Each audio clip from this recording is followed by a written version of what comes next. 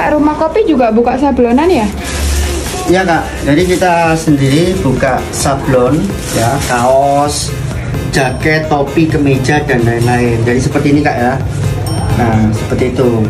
Lalu misalkan kakaknya kalau mau order, ya cukup kakaknya kirim desain ke kami melalui WhatsApp, ya desain jadi itu untuk yang satuan kak. Jadi bisa pesen kaos seperti ini satuan juga bisa. Mungkin tulisan atau gambar yang berkaitan dengan logo perusahaan atau apron juga bisa kak. Jadi uh, banyak macamnya ya gambar ini. Baik depan belakang nanti ada bonus uh, bendera kayak di samping lengan seperti itu. Nanti cara ordernya tinggal kakaknya kirim gambar ke WhatsApp kita. Kita akan kasih desain mentah. Habis itu nanti kakaknya tinggal order ke kami atau kita proses ya pembayaran. Habis itu kita proses kak.